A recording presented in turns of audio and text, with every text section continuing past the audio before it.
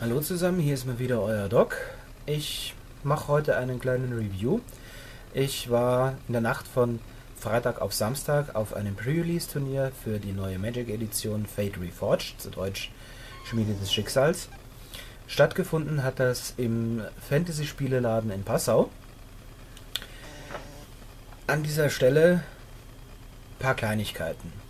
Für diejenigen, die sich für Magic nicht interessieren, einen schönen Tag noch.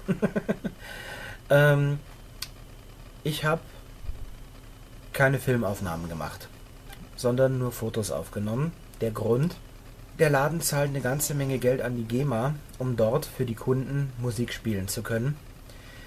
Wenn ich allerdings dort Videoaufnahmen gemacht hätte, dann hätte ich auch hergehen müssen und mich mit der GEMA über äh, die Kosten einigen und lauter solche Sachen.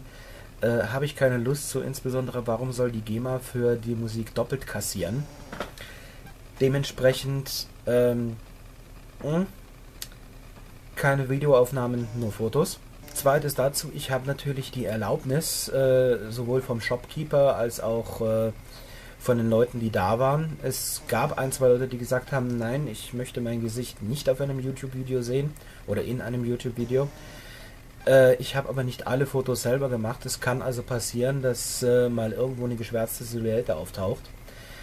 Ähm, weil ich jemand anderem die Kamera in die Hand gedrückt habe, denn ich war natürlich mit meinen Karten und mit dem Spielen beschäftigt und habe deswegen nicht dauernd irgendwelche Fotos geschossen, schon alleine auch um die anderen nicht großartig zu belästigen. Deswegen sind auch nicht so wirklich viele Fotos geworden. Ähm, sollte trotzdem mal irgendwo eine schwarze Silhouette auftauchen, wo ich halt jemanden geschwärzt habe, der nicht gesehen werden möchte, bitte ich das zu entschuldigen. Das ist einfach eine Sache der Persönlichkeitsrechte. Und dann noch das äh, letzte. Ähm, das ist ein Laden. Der Laden verkauft alle möglichen, ich sage jetzt einmal Geek-Dinge. Sprich, äh, irgendwelche Magic-Karten, Spiele, Bücher, äh, Labzubehör, was auch immer. Ich werde mir nicht die Mühe machen, das alles zu schwärzen. Einfach weil das ein ganzen Haufen Arbeit wäre. Das sind keine Product Placements, es ist einfach nur da. Ich bin zu faul, mir damit so wahnsinnig viel Mühe zu machen.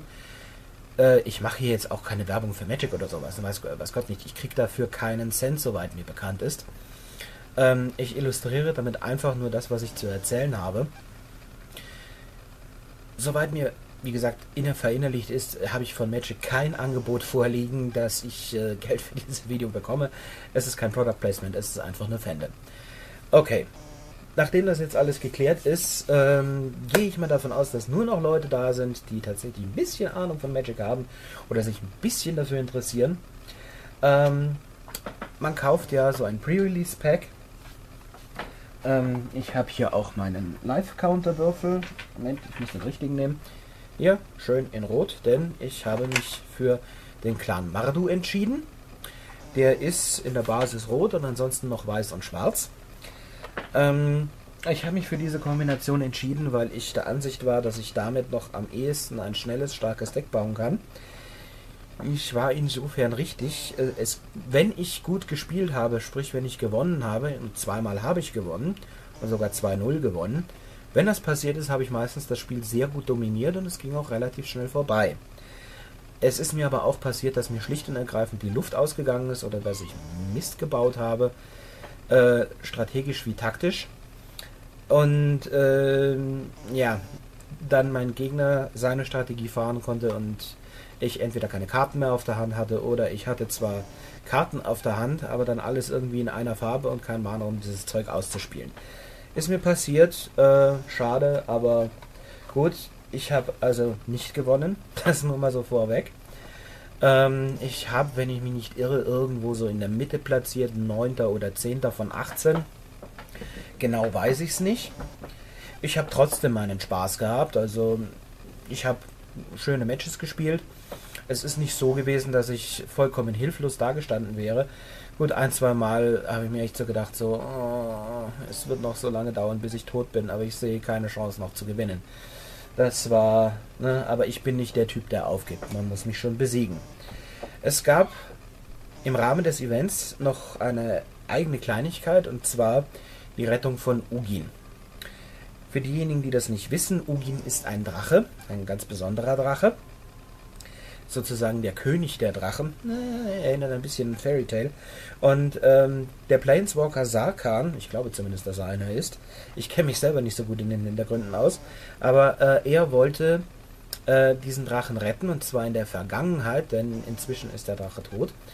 In der dritten, im dritten Teil dieser Edition, im, beziehungsweise im dritten Teil dieses Blocks, so muss ich sagen, äh, wird sich dadurch die Welt verändert haben, weil dann die Drachen einfach effektiv noch da sind.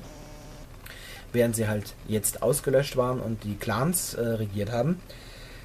Ja, um das jetzt hinzubekommen, dass der überlebt, das war das Ziel dieser Aktion, ähm, gab es drei Phasen zu bewältigen. Und zwar als erstes ein, ähm, einen, ein Fragment äh, von Ugins Lebensenergie zu aktivieren, um ihn finden zu können war die erste Phase. Die zweite Phase war, nachdem Ugin gefunden wurde, ihn in eine Art Heilkokon zu stecken, diesen zu schaffen und in der dritten Phase dann sozusagen Ugin zu heilen und damit am Leben zu erhalten. Zu diesem Zweck gab es in jeder Phase drei Achievements, die man erfüllen sollte. Sobald die Hälfte der Spieler es geschafft hat, ein Achievement zu erfüllen, also die nötigen neun Punkte in unserem Fall, zusammenzubekommen, dann wird übergegangen zur nächsten Phase. Wir haben die erste Phase relativ schnell abgehandelt gehabt, noch bevor ich es geschafft habe, ein Achievement zu bekommen. Ich muss dazu sagen, diese drei Achievements habe ich im späteren Verlauf des Abends alle drei geschafft.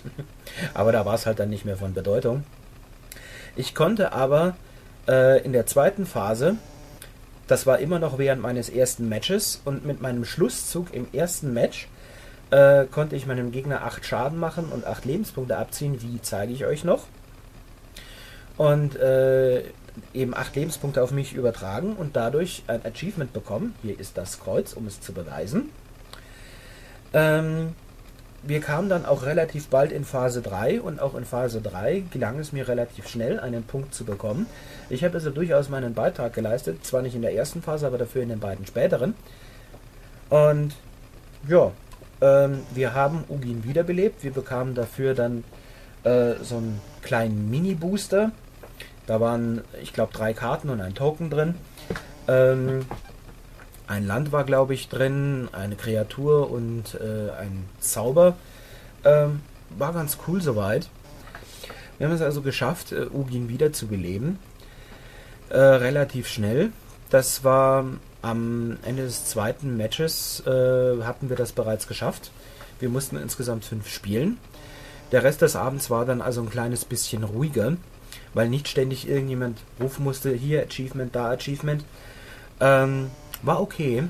Man durfte diese Karten dann natürlich nicht gleich in, ins Turnierdeck einbauen, das war nicht legal, aber äh, das hätte sich bei mir auch nicht gelohnt.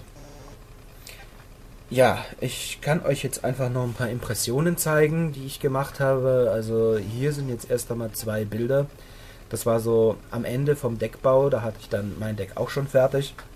Ich konnte eben ein paar Bilder schießen. Und hier habe ich noch ein paar Impressionen, die halt während des Spielens gemacht wurden.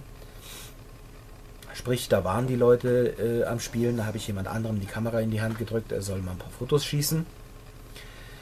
Ähm, stellt relativ gut dar, wie ich finde, äh, wie das halt so abläuft. Da sitzen halt dann ein Haufen Leute da und spielen Karten. Und das Ganze geht relativ friedlich und ruhig ab und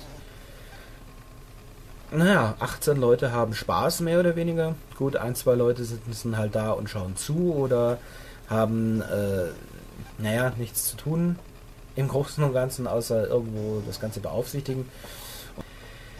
Ja, wie gesagt, ich bin irgendwo im Mittelfeld gewesen, zweimal gewonnen, dreimal verloren. Ähm, hm, c'est la vie, passiert. Ähm, ich möchte jetzt einfach noch ein paar Karten zeigen, die ich gezogen habe, äh, die ich auch eingesetzt habe und an denen ich ähm, viel Spaß hatte, teilweise. Ähm, oder die sehr nützlich waren. Zum einen, ich hatte die hier gezogen, brutale Näherung. Das war das, was mir effektiv das erste Match äh, gewonnen hat. Das war immer mein Endzug, diese Karte zu spielen. Und zwar, ähm, man bekommt, man kann entweder einem, einer Kreatur oder einem Spieler Schadenspunkte machen, x Schadenspunkte und dafür x Lebenspunkte bekommen. Wobei x die Zahl der Kreaturen ist, die man kontrolliert, und zwar für ein schwarzes, ein weißes und ein farbloses. Und das ist erstens super billig und in einem Token-Deck absolut tödlich.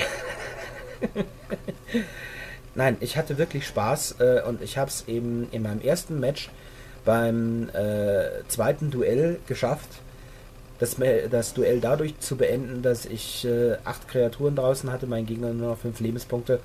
So habe ich gewonnen und auch das Achievement für die zweite Phase bekommen.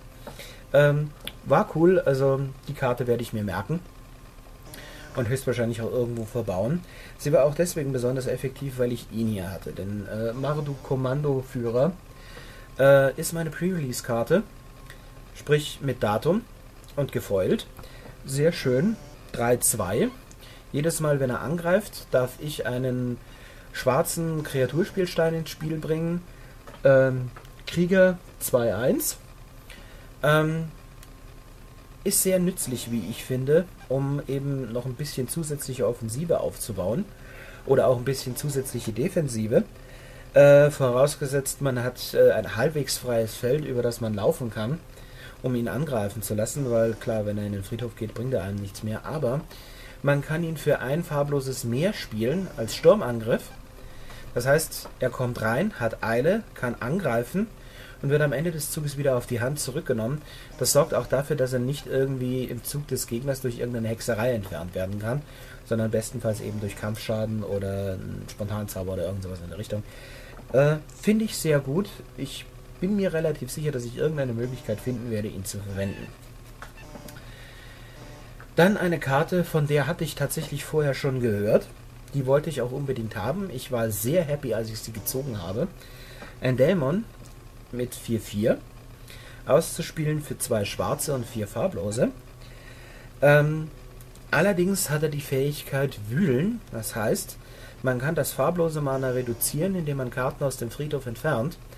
Normalerweise würde ich das eher nicht machen, weil ich mit meinem Friedhof oftmals irgendetwas vorhabe. Sprich, Kreaturen wiederbeleben oder sowas.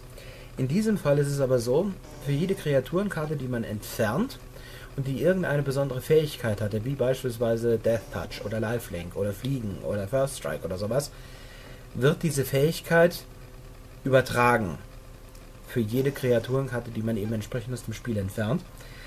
Ich habe diesen Dämon mit Death Touch gespielt, ich habe ihn mit Flying und Death Touch gespielt, ich habe ihn glaube ich auch mal mit Flying und Haste gespielt. Ähm, er kommt da relativ gut. Er ist zwar oft genug ausgeblockt worden, aber er kam da teilweise richtig übel. Ich hatte damit äh, viel Spaß und ich weiß jetzt bereits, wo er hinkommt. Ähm, ich habe da einen guten Schwung Dämonen, mit äh, denen da ein Deck entstehen wird. Das wird ein ziemlicher Spaß. Das hier ist eine Karte, die eigentlich sehr schön ist, die mir im Spiel auch sehr viel geholfen hat, die mir aber so äh, vermutlich eher seltener was helfen wird. Weil sie ist eben weiß-rot. Ähm, ich bin so ein alter Schwarzspieler ich fühle mich nicht wohl, wenn ich äh, nicht schwarz spiele. Rot, okay, weiß, äh, ist nicht so das meine. Na, vielleicht lässt sich das mal irgendwie mit einem Splash oder so machen. Kreaturen, die ich kontrolliere als Spontanzauber, bekommen plus 2, plus 1 und werden enttappt. Das kann einen Gegner bei einem Massenangriff insbesondere richtig in Schwierigkeiten bringen. Und wenn man dazu dann auch noch folgende Karte zur Verfügung hat, die Temur Kampfwut, dann kann das richtig bitter werden, denn damit kann ich einer Kreatur Doppelschlag bis zum Ende des Zuges geben. Und wenn ich eine Kreatur kontrolliere, die Stärke 4 oder mehr hat, bekommt die verzauberte Kreatur auch noch Trample. Ich weiß von mindestens zwei Spielern, die diese Karte eingesetzt haben, um richtig heftige Schäden auszuteilen. Einmal, glaube ich, sogar 18 Schaden oder so in einem Angriff. Ähm, das kommt ziemlich bitter. Ähm, ganz ehrlich, tolle Sache. Ich denke, ich weiß, wo ich diese Karte hinpacken werde. Sprich, ich habe vor, die auch in Zukunft zu spielen. Weil mir die, äh, die war echt klasse und die ist super billig. Dafür, dass sie einen richtig heftigen Effekt hat oder einen Effekt hat, der richtig heftig einschlagen kann. Die letzte Karte, die ich euch zeigen möchte, ist dieser Flammenpfad. Ja, Flammenpfad Phönix. Auszuspielen für zwei rote und ein farbloses. Fakt ist, ich habe ihn tatsächlich für diese Kosten nie gespielt. Was auch nicht nötig war. Denn er hat Fliegen und Eile. Muss in jedem Zug angreifen, wenn möglich. Ja, leider. Aber wenn er im Friedhof ist und ich eine Kreatur mit Stärke 4 oder mehr kontrolliere, muss ich nur ein rotes Mana ausgeben, um ihn aus dem Friedhof zurückzuholen. Und zwar ungetappt aufs Spielfeld. Das ist eine sehr geile Fähigkeit, wie ich finde. Es macht richtig Spaß, mit dem zu spielen. Ich bin tatsächlich hergegangen und habe ihn in einer Runde quasi geopfert auf eine bestimmte Art und Weise, um einen anderen Effekt äh, zu triggern und konnte ihn fast in der gleichen Runde wieder aufs Spielfeld zurückholen.